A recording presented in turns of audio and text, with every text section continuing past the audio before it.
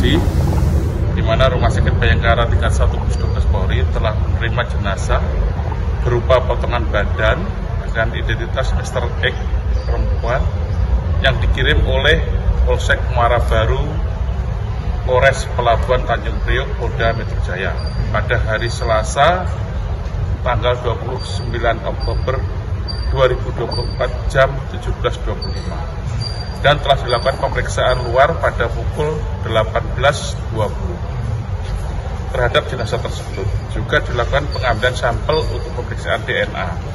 Pada hari Rabu hari ini jam 02.23 telah menerima jenazah berupa potongan kepala dari Polsek Muara Baru.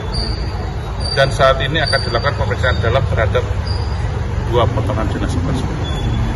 Kita akan dilakukan otopsi, pemeriksaan dalam, juga akan dilakukan pemeriksaan DNA untuk mencocokkan apakah kepala dan badan itu satu orang atau